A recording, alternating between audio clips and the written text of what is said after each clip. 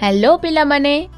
ଏହି ଭିଡିଓରେ ଆମେ ପୂର୍ଣ୍ଣବର୍ଗ ସଂଖ୍ୟାର ବର୍ଗମୂଳ ତଥା ବିଯୁକ୍ତର ସକ୍ରିୟ ବିଧି ଦ୍ୱାରା ବର୍ଗମୂଳ ଜ୍ଞାତ କରିବା ପାଇଁ କିଛି ଉଦାହରଣ ଦେଖିବା।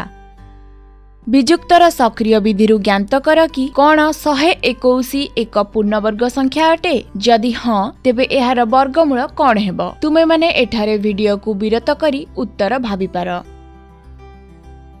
ଆମେ ଜାଣିଛୁ କି କୌଣସି ପ୍ରକୃତ ସଂଖ୍ୟା ଏନ୍ ପାଇଁ ଏନ୍ ଘାତ ଦୁଇ ପ୍ରଥମ ଏନ୍ ବିଷମ ସଂଖ୍ୟାର ଯୋଗ ସହିତ ସମାନ ହୋଇଥାଏ। ଯଦି ସଂଖ୍ୟା ଶହେ ଏକୋଇଶ ଏକ ପୂର୍ଣ୍ଣବର୍ଗ ସଂଖ୍ୟା ତେବେ ଏହି ପ୍ରଥମ ଏନ୍ କ୍ରମାଗତ ବିଷମ ସଂଖ୍ୟା ମାନଙ୍କର ଯୋଗ ସହ ସମାନ ହେବ।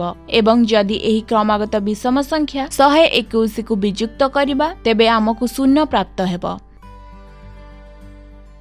ଯେମିତି ଶହେ ଏକୋଇଶ ବିଯୁକ୍ତ ଏକ सामान शहे कड़िए। ଶହେ କୋଡ଼ିଏ ବିଯୁକ୍ତ ତିନି ସମାନ ଶହେ ସତର। ଏହିପରି ଆମେ ଆଗେ କ୍ରମାଗତ ବିଷମ ସଂଖ୍ୟାକୁ ବିଯୁକ୍ତ କରିବା ଯେଉଁଥିରୁ ଆମକୁ ଶେଷରେ ମିଳିବ ଏକୋଇଶ ବିଯୁକ୍ତ ଏକୋଇଶ ସମାନ ଶୂନ୍ୟ। ଏଇଥିରୁ ଜଣାପଡୁଛି ଯେ ସଂଖ୍ୟା ଶହେ ଏକୋଇଶ ଏକ ପୂର୍ଣ୍ଣବର୍ଗ ସଂଖ୍ୟା ଅଟେ। ଯଦି ଏହି ବିଧି ଶେଷରେ ଆମକୁ ଶୂନ୍ୟ ମିଳିବ ନାହିଁ ତେବେ ଏହି ସଂଖ୍ୟା ପୂର୍ଣ୍ଣବର୍ଗ ସଂଖ୍ୟା ହେବ ନାହିଁ। କାରଣ ଏଠାରେ ମୋଟ ଏଗାରଟି ଅଯୁଗ୍ମ କ୍ରମାଗତ ସଂଖ୍ୟା ବିଯୁକ୍ତ କରାଗଲା। ସେଥିପାଇଁ ସଂଖ୍ୟା ଶହେ ଏକୋଇଶର ବର୍ଗମୂଳ ଏଗାର ଅଟେ। ଏବେ ଆମେ ଅଲଗା ଏକ ଉଦାହରଣ ଦେଖିବା। ଏକ ବର୍ଗାକାର ବିଲର କ୍ଷେତ୍ରଫଳ ଦୁଇଶହ ଅଣାନବେ ବର୍ଗମିଟର ଅଟେ। କ'ଣ ତୁମେ କହିପାରିବ? ଏହାର ଏକ ପାର୍ଶ୍ୱରେ ଲଗାଇବା ପାଇଁ କେତେ ଲମ୍ବା ତାର ଦରକାର ହେବ? ତୁମେମାନେ ଏଠାରେ ଭିଡିଓକୁ ବିରତ କରି ଉତ୍ତର ଭାବିପାରିବ। ଏହା ଏକ ବର୍ଗାକାର ବିଲ ଅଟେ। ଆମେ ଜାଣିଛୁ କି ଏକ ବର୍ଗର ସମସ୍ତ ପାର୍ଶ୍ୱ ସମାନ ଅଟେ। ତେବେ ଏହି ବିଲର ମଧ୍ୟ ସମସ୍ତ ପାର୍ଶ୍ୱ ସମାନ ହେବ। ମନେକର କି ଏହାର ଏକ ପାର୍ଶ୍ୱର ଲମ୍ବ ଏସ୍ ଅର୍ଥାତ୍ ସମସ୍ତ ପାର୍ଶ୍ୱର ଲମ୍ବ ମଧ୍ୟ ଏସ୍ ହେବ। ତେବେ ଏହାର କ୍ଷେତ୍ରଫଳ ହେବ। ଏସ୍ ର ଘାତ ଦୁଇ ତାରର ଲମ୍ବ ଜାଣିବା ପାଇଁ ଆମକୁ ଏକ ପାର୍ଶ୍ୱର ଲମ୍ବ ଅର୍ଥାତ୍ ଏସ୍ ର ମାନ ଜାଣିବାକୁ ହେବ। ଆମକୁ ଦିଆଯାଇଛି କି?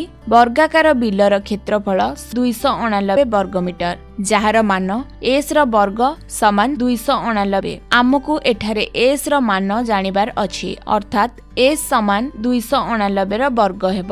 ବର୍ଗମୂଳ ଜାଣିବା ପାଇଁ ଆମକୁ ଦୁଇଶହ ଅଣାନବେକୁ କ୍ରମାଗତ ଅଯୁଗ୍ମ ସଂଖ୍ୟା ଦ୍ୱାରା ଏହିଭଳି ବିଯୁକ୍ତ କରି ଦେଖିବା।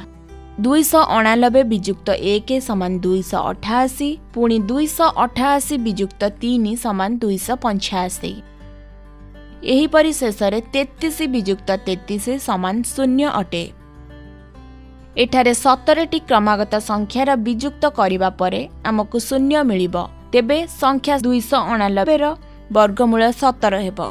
ବର୍ଗାକାର ବିଲର ପାର୍ଶ୍ୱର ଲମ୍ବ ସତର ମିଟର ହେବ। ଏହାର ଅର୍ଥାତ୍ ବିଲର ଗୋଟିଏ ପାର୍ଶ୍ୱରେ ଲଗାଯାଇଥିବା ତାରର ଲମ୍ବା ସତର ମିଟର ହେବ। ଏବେ ଅଭ୍ୟାସ ପାଇଁ ଦିଆଯାଇଥିବା ସଂଖ୍ୟାର ବିଯୁକ୍ତ ବିଧିରେ ବର୍ଗମୂଳ ନିର୍ଣ୍ଣୟ କରିବାକୁ ଚେଷ୍ଟା କର। ଏହି ଭିଡିଓରେ ଆମେମାନେ ସଂଖ୍ୟାମାନଙ୍କ ବର୍ଗମୂଳ ବିଯୁକ୍ତ ବିଧି ଦ୍ୱାରା ବର୍ଗମୂଳ ନିର୍ଣ୍ଣୟ କରିବାର କିଛି ଉଦାହରଣ ଦେଖିଲେ। ଆଗାମୀ ଭିଡିଓରେ ଆମେମାନେ ମଜାଦାର ପହେଲି ବିଷୟରେ ଜାଣିବା। धन्यवाद।